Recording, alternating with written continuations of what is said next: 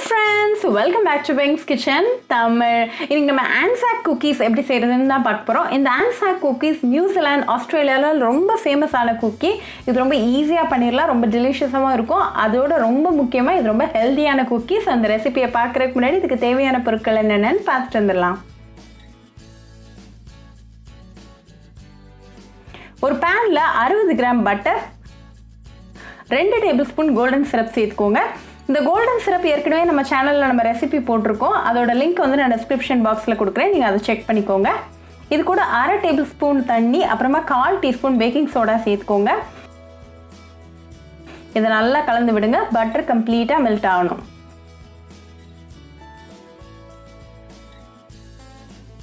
இப்போ பட்டர் கம்ப்ளீட்டாக மெல்ட் ஆயாச்சு. ஸோ இந்த ஸ்டேஜில் ஃப்ளேம் ஆஃப் பண்ணிவிட்டு இது ரெடியாக எடுத்து வச்சுக்கோங்க. ஒரு மிக்சிங் பவுலில் அரை கப் மைதா முக்கால் கப் ஓட்ஸு அரை கப் டெசிகேட்டட் கோகனட் சேர்த்துக்கோங்க. இந்த டெசிகேட்டட் கோகனட்டும் நம்ம சேனலில் நான் வீடியோ பண்ணியிருக்கேன். அதோட லிங்க்கும் நான் டிஸ்கிரிப்ஷன் பாக்ஸில் கொடுக்குறேன். அதையும் செக் பண்ணிக்கோங்க. அப்புறமா கால் கப் நாட்டு சர்க்கரை சேர்த்துக்கோங்க. இந்த இன்க்ரீடியன்ஸ் எல்லாத்தையும் நம்ம நல்லா கலந்து விட்டுறலாம்.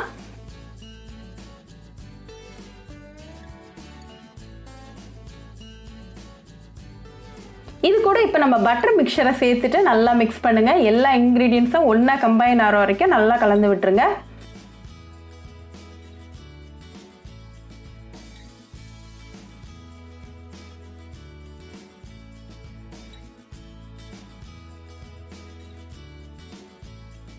இப்போ எல்லா இன்க்ரீடியன்ஸும் நல்லா கம்பைன் ஆகிருக்கு நம்மளோட ஆன்சர் குக்கி டோ இப்போ ரெடியாக இருக்குது இதுலேருந்து கொஞ்சமாக எடுத்து நல்லா உருண்டையாக பிடிச்சிக்கோங்க.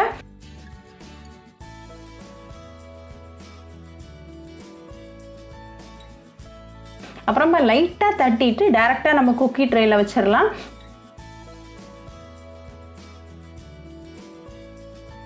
இதே மாதிரி எல்லா குக்கீஸையும் பண்ணிவிட்டு குக்கி ட்ரேயில் வச்சுருங்க. ஆனால் சஃபிஷியன்ட் அமௌண்ட் ஆஃப் கேப் விட்டுக்கோங்க. ஏன்னா வந்து பேக் பண்ணும்போது வந்து குக்கீஸ் வந்து எக்ஸ்பேண்ட் ஆகும். ஸோ ஒன்றோட ஒன்று இடிக்காத மாதிரி சஃபிஷியன்ட் கேப் வச்சு நீங்கள் ப்ளேஸ் பண்ணிக்கோங்க.